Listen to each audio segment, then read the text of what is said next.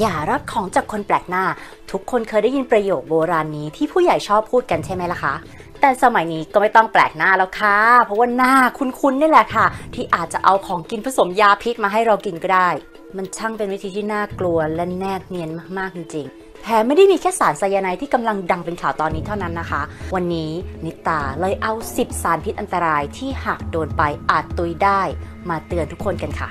โบท็อกซ์หรือว่า botulinum toxin สารแรกก็ตึงเลย หน้าตึงกันเลยหมดเลยค่ะ มันก็คือโบท็อกซ์นี่แหละค่ะ ซึ่งจริงๆเนี่ยมันชื่อว่า botulinum toxin ค่ะ เขาบอกว่าถ้าบังเอิญกินเข้าไปเล็กน้อยเนี่ยก็อาจจะแค่ท้องเสียค่ะ แต่ถ้าหากได้รับในปริมาณมากๆเนี่ยก็จะเกิดอาการรุนแรง กล้ามเนื้อเป็นอัมพาตขยับไม่ได้ เวียนหัว การมองเห็นแย่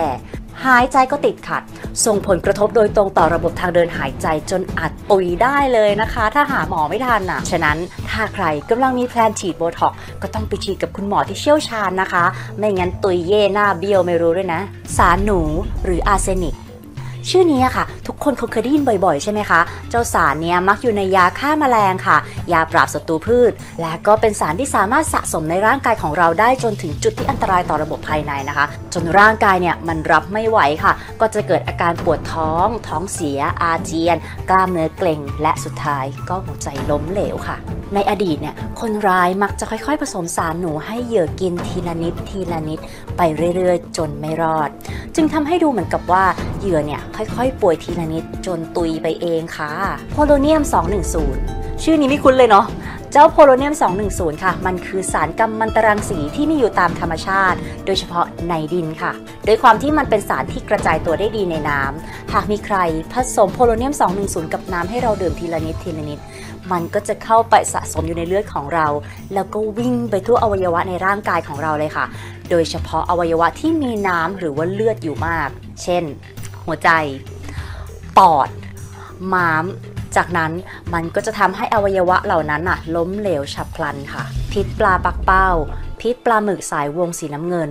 มาเลย ใครชอบกินซาซิมิปลาดิบอะไรเงี้ย ระวังไว้เลยนะคะ ถ้าใครเอาปลาปักเป้าหรือว่าปลาหมึกมาให้กินเนี่ย เช็คดีๆก่อนเลยนะจ๊ะ เพราะถ้าเชฟไม่ชำนาญพอที่จะแล่เอาพิษปลาปักเป้าออกให้หมดเนี่ยอันตรายมากนะคะ แล้วก็กับเจ้าปลาหมึกวงสีน้ำเงินเนี่ยค่ะ ที่มีพิษรุนแรงมากๆ มันสามารถทำให้เราตุยได้ภายในไม่กี่นาทีเลยนะคะ ถ้าเผลอไปกินมันนะนะ สำหรับคนที่โดนพิษนี้เข้าไปค่ะ มันจะรู้สึกยิบยิบเหมือนมีเข็มอะไรมาตำๆที่ปากแล้วก็ลิ้นค่ะ น่าจะชานะคะ พูดไม่ได้ หากปล่อยทิ้งไว้เนี่ยม่านตาจะขยายค่ะ กล้ามเนื้อหัวใจก็จะเป็นอัมพาต สุดท้ายหัวใจล้มเหลวค่ะ ยาเบื่อหรือสตริกนินมันคือยาเบื่อสุนัขค่ะ สารนี้มีชื่อว่าสตริกนิน มันเป็นสารที่อยู่ในเมล็ดของต้นแสลงใจ อืม ชื่อเนี่ยเหมาะกับสารพิษที่ผลิตมามากเลยนะจ๊ะ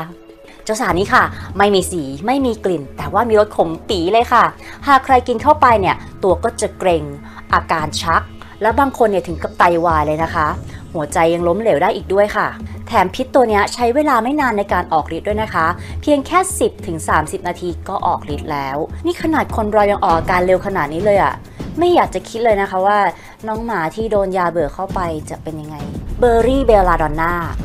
ากใครไปเดินป่า แล้วเห็นลูกเบอร์รี่สีม่วงๆดำๆเนี่ยอย่าหยิบมัวซัวขึ้นมากินนะจ๊ะ เพราะว่ามันอาจจะเป็นต้นเบลลาดอนนาที่เขาลือว่ามันคือเบอร์รี่ของแม่มดค่ะ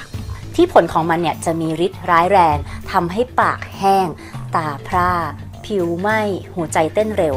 บางคนจะเห็นภาพหลอนด้วยนะคะ จากนั้นก็จะชักและในที่สุดค่ะ มีคนที่เคยชิมค่ะ เขาบอกว่ามันมีรสชาติที่แย่มาก ออกจะฝาดฝาดๆปนขมนิดหน่อยค่ะ อืม ว่าแต่คนชิมอะเขารอดใช่ปะสารประหลอดหรือว่าเมอร์คิวรีสารนี้ค่ะอยู่ในพวกแบตเตอรี่ ประหลอดวัดอุณหภูมิ หรือว่าเครื่องมือทดลองทางวิทยาศาสตร์ต่างๆ ในอาหารก็มีนะคะ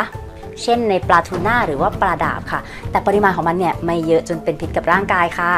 และหากว่าเราได้รับสารประหลอดเนี่ยเข้าไปเยอะๆ ก็จะทำให้เกิดอาการอาเจียน เลือดออกปาก ปวดท้องอย่างรุนแรง และถ้าสารประหลอดเนี่ยดันไปเข้าสู่กระแสเลือดเมื่อไหร่แล้วก็ไตของเราก็จะโดนทำลาย ฉี่ไม่ออกหรือบางทีอาจจะฉี่เป็นเลือดได้เลยค่ะ ดอกไม้สีม่วงอะโคไนจริงๆ สารนี้ชื่ออะโคซินค่ะ ที่ได้มาจากการสกัดจากใบหรือว่ารากของต้นอะโคไนที่มันจะออกดอกเป็นช่อดอกไม้สีม่วงค่ะ และถ้ามีใครนะคะ เอาช่อดอกอะโคไนมาให้ ก็อย่าไปคิดว่าเขาหมายความว่าเขามาชอบเรานะ ลองนึกถึงพิษมันดูก่อนค่ะ บางทีเจ้าดอกเนี้ยอาจแปลความหมายได้ว่า อยากให้คุณตุยไปแทนนะจ๊ะ ส่วนอาการก็คล้ายๆกับสารพิษตัวอื่นๆค่ะ เพิ่มเติมก็คือ มันจะไปทำลายระบบประสาทค่ะทำให้เป็นอัมพาตแล้วก็หยุดหายใจในเวลาเพียงแค่ไม่กี่นาทีค่ะ ต้น water hemlock หรือว่าสารอัลคาลอยด์ทุกส่วนของต้น water hemlock นะคะมีพิษ แล้วก็สามารถทำให้เสียชีวิตได้ภายในเวลาเพียงแค่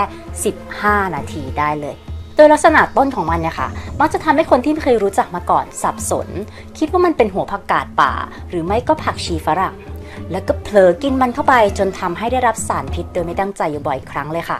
ไอสารพิษเนี้ยนะคะ มันมีอยู่ในน้ำยางของต้นแฮมล็อกค่ะ มีกลิ่นชุนคล้ายๆ กับกลิ่นฉี่หนู โดยอาการเด่นๆก็คืออาการชักค่ะ เป็นอัมพาตหัวใจ ปอด และไตวาย และถ้าใครโชคดีรอดชีวิตจากพิษนี้มาได้นะคะ แต่ก็จะต้องมานั่งทนทุกทรมานกับโรคความจำเสื่อมค่ะไซยาไนด์สารที่ popular ที่สุดตอนนี้ก็คงหนีไม่พ้นไซยาไนด์แล้วล่ะค่ะ ทั้งในหนังการ์ตูน นิยาย หรือว่าเรื่องจริงที่กำลังเป็นข่าวดังในไทยตอนนี้นะคะ แถมดังไปถึงเมืองนอกแล้วด้วยไซยาไนด์ค่ะ พบได้ในยาฆ่าแมลง และมีอยู่ในผักผลไม้บางชนิดที่เรากินกันด้วยนะ แถมมันก็ดันไม่มีสีไม่มีกลิ่นทำให้จับสังเกตได้ยากมากเลยค่ะ หากใครคิดว่าตัวเองโดนสารนี้เข้าไปนะคะ ให้ลองรีบสังเกตอาการตามนี้ค่ะ จะเริ่มด้วยการหายใจติดขัดค่ะ แขนหรือขาชา จากนั้นจะมึนหัวและหมดสติ บางรายชัก และหากรักษาไม่ทันก็จะเกิดอาการหัวใจวายได้ค่ะ อืมปฏิเสธไม่ได้เลยนะคะว่าสมัยนี้คนน่ากลัวขึ้นเยอะจริง ๆ ค่ะ และเงิน ก็มีอิทธิพลมากพอที่จะทำให้คนที่ไม่มีความยับยั้งชั่งใจเนี่ยสามารถคนอื่นเพื่อเอาเงินหรือว่าทรัพย์มาเป็นของตัวเองได้นะคะ แถมเรื่องพวกนี้ค่ะ ก็มักจะเป็นคนที่สนิทหรือว่าคนใกล้ตัวด้วยนะคะที่ทำอะทุกคนต้องระวังตัวนะคะ และสำหรับวันนี้มิตาก็ต้องลาไปก่อนนะ ครั้งหน้าอยากฟังหรือว่าอยากรู้เรื่องลึกลับน่ากลัวอะไร ก็ก็คอมเมนต์บอกกันไว้นะคะอ้อ แล้วก็ฝากกดไลค์กดแชร์เป็นกำลังใจให้ด้วยนะคะ ขอบคุณค่ะ บ๊ายบาย